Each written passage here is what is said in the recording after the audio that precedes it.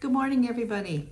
Welcome to Erndales. My name is Dale, and this is my YouTube channel, Erndales. Having a hard time talking this morning. This is about the fourth time I recorded this. Anyway, welcome. It's so nice to see you again after a few weeks break. Um, I have been kind of slow at doing some recording and things like that. I've been spending a lot of time in the garden and really enjoying it and doing a lot of work too. So today I thought I would share um, what I've been up to. I have been busy in the yard and in the studio, so um, I want to show you what I've been up to. And also uh, later on in the video, we will I will announce the winners of the giveaways that I had a couple of videos back. Um, I had there I had four patterns that I was giving away, and um, I asked that you, if you were interested in the pattern, that you would put a certain word in a comment. And only words in the comments were for only two of them. So I um, am only giving away two today because that's all there was to give away. And um, I'll keep the other ones for later on and I'll, I'll have more uh, different patterns to add to them. So we'll try again later on. So um, yeah, let's get going. So what I have been spending a lot of time doing is finishing some of my cross stitch ornaments. I have, these are all, most of them are ones that I actually stitched last year, but I never got around to finishing them. And because I'm thinking about Christmas already, I've been starting my Christmas knitting and stitching. And so I thought I'm gonna go in my little drawer, pull it out and see what I have. So I, I'm just going to show you what I had finished stitching and how I finished them completely. And then um, when you finish watching that, I'll come back and I'll show you the completed items. So watch this little next bit. I've got a bunch of ornaments here that I stitched and I want to finish them. I want to turn them into ornaments. So um, what I'm going to do today is I'm going to finish these. This one is a perforated paper, so I just have to do the backing for it and a hanger. There's really not much um, to do for this one. Isn't it cute? I showed this last last year. Actually, I think I already put a little hanger on it, but that's not the one that's going to be on it to be to in the end. So this one's on paper perforated paper.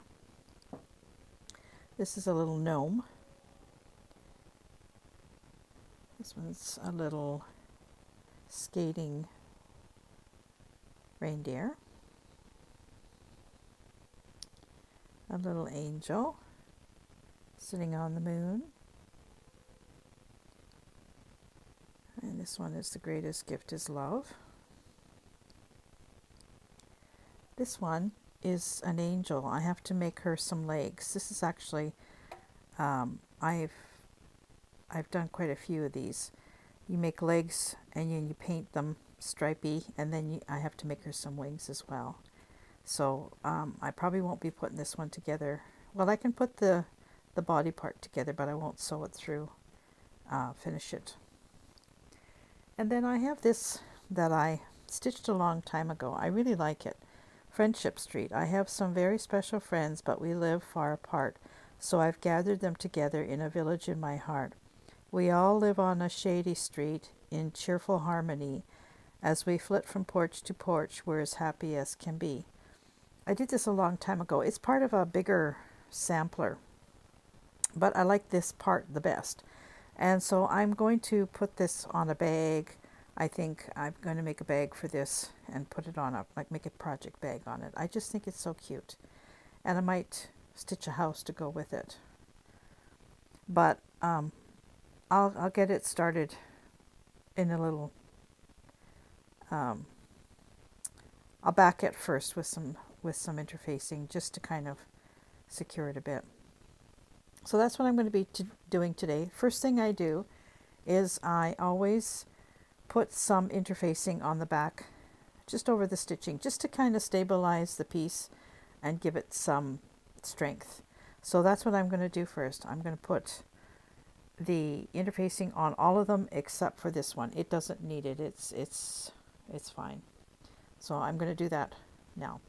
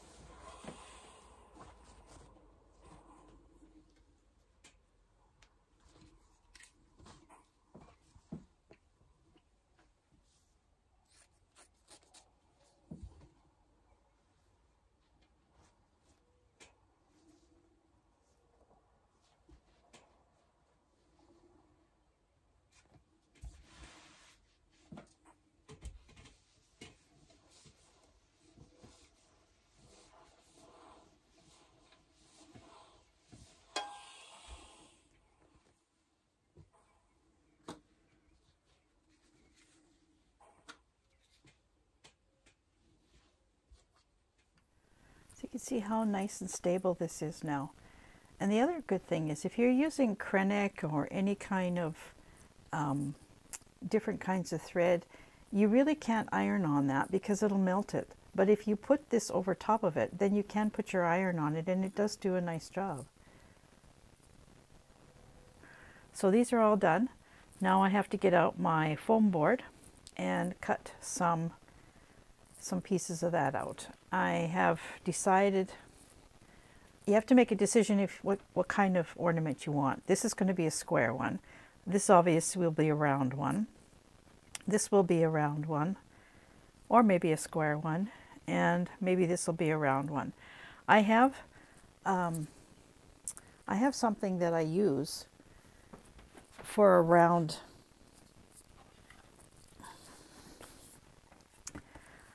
somebody gave me a package of these. They were uh, coasters. They're just they're paper coasters. And so I use this as a template.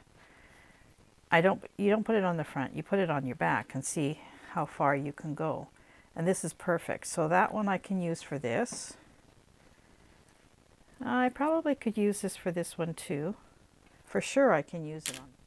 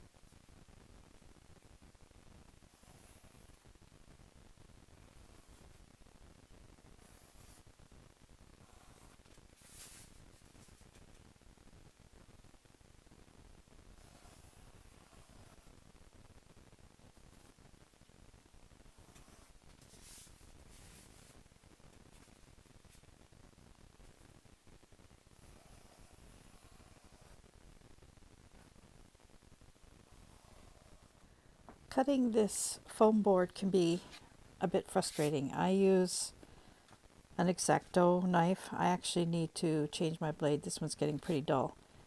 Um, and it's it's not so much the foam part as it is the the backing. There's a paper backing on this. So what I do is I just go around and I score it first with little cuts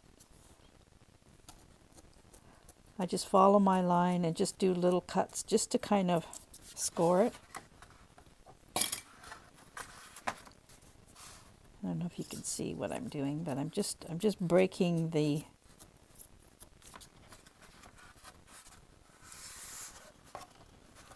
trouble with me is I got too much stuff on my table here. I'm just breaking the surface as I go.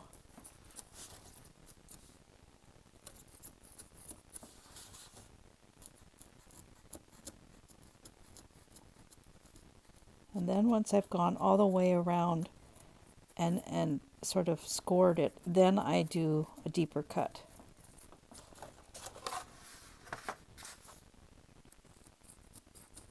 I actually don't like using this foam board, but I bought this, I bought several sheets of it and I'm determined to use it up.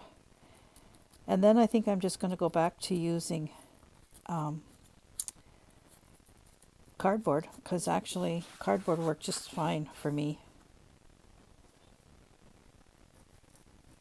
This stuff I find very frustrating. Okay, I've scored it. Now I'm going to just cut that back. I'm pressing really hard and I'm just following my score. And what I'm doing is I'm cutting through that paper at the back.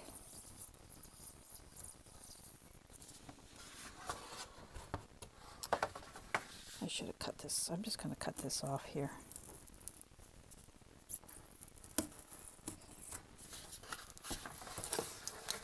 So this is what I mean. Okay, so I'm just going to go through here and I'm just going to cut this right off the back of the and you might have to go around several times because that back paper is pretty tough stuff. And then you can just pull it off. After I do this, then I just take a piece of sandpaper and clean up the edges with it. Just any old sandpaper you have. Sometimes you have to take a pair of scissors and just cut off little pieces too. So I'm just going to take sandpaper now just go around and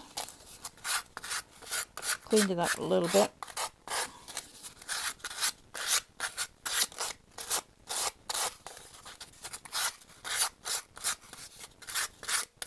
It doesn't have to be perfect because it's going to have fabric over top of it anyway. I like to clean this back part off because this is, it's the paper that causes the problem. Look at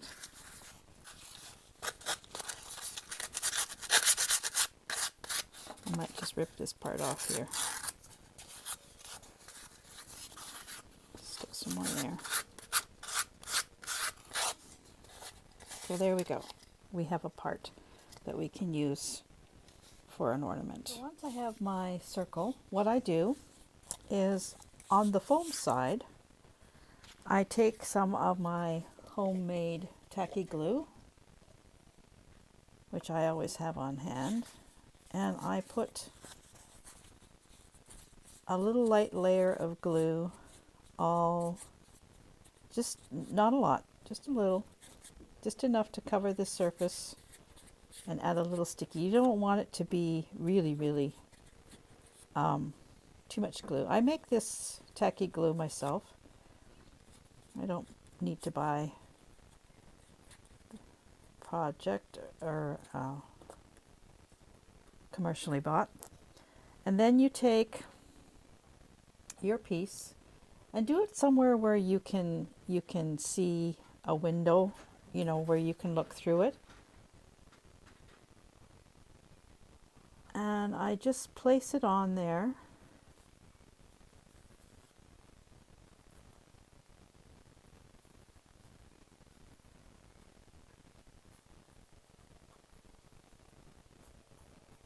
And then I push. And you can see, I hope, it's centered. Centered perfectly. And I let that dry for a little while. 10 15 minutes. So I've done three. I've got this one. It's got the back on it. And we just did this one. And I've done this one. Now what I will do is I will trim around the excess, take the excess off, and then I'm going to use my hot glue gun to put it on. I'm not going to sew uh, you, you can either stitch stitch it on or like pull it around and stitch it or you can hot glue it and I just prefer to hot glue. So I'm going to leave these dry and I will be back for the next part. So for the angel I have found a piece of um, it was a denim shirt. It's not it's not denim. It's it's cotton that looks like denim denim. So I'm going to use that for the back of her her um, dress. It's very close in color. I think it's actually pretty pretty perfect. So what I'm going to do is I'm going to take it over to the sewing machine and I'm going to sew it like this. I'm going to put the two right sides together and I'm going to follow this with my machine all the way around here like this. And up to about here and to here. And then I'll leave this part open. I've also cut out two pieces for legs. So I will sew these two pieces together. So her legs are going to be about that wide. After I've got them sewn I will paint them. And um, I'll probably have to shorten them because they're a little bit long. I don't think her legs need to be that long.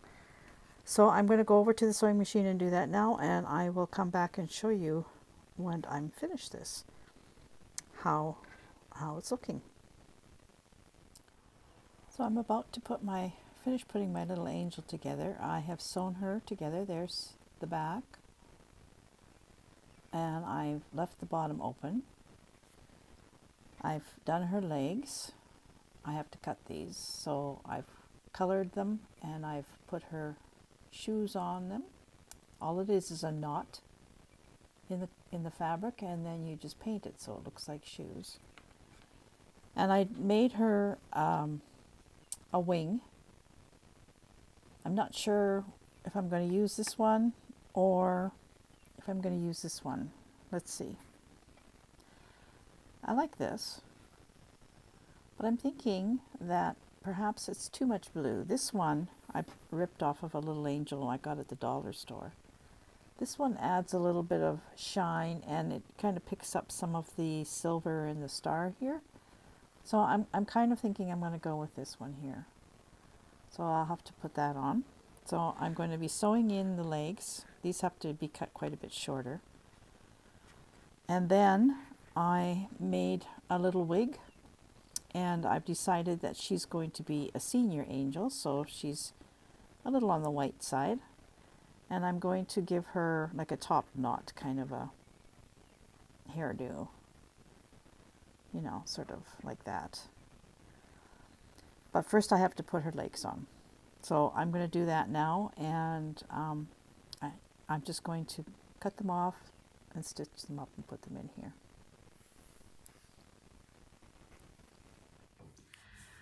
So that's not a tutorial, it's just how I finish my ornaments. I mean, everybody has their own way of doing things. There's a million really good tutorials on YouTube on how to finish your ornaments. Um, but, you know, I think we all develop our own method of finishing things. So I'm going to show you the some of the things. I actually finished five ornaments. So this is the first one that I finished.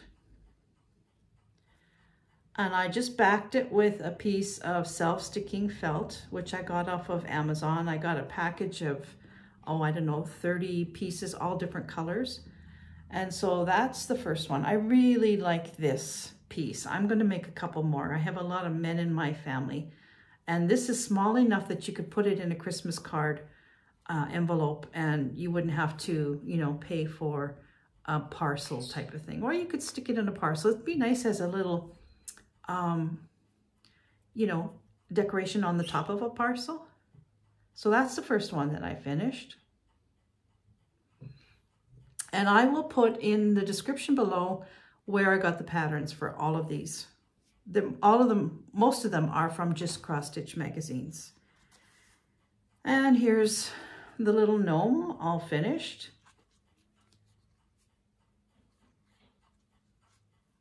He turned out pretty cute. I have a lot of this kind of braid and trims from when I did eggs and if you um, are wondering what I'm talking about, look back in some of my older videos. I have um, some videos on eggery, things that I made out of eggs. And we used a lot of these kind of trims. My mom and I and my aunt used to do those. So there's the little gnome. He's cute. And then here's the little skating reindeer. Adorable. This one I don't think was from Just Cross Stitch. I think this was from something else. And it's just got a little bit of print on the back.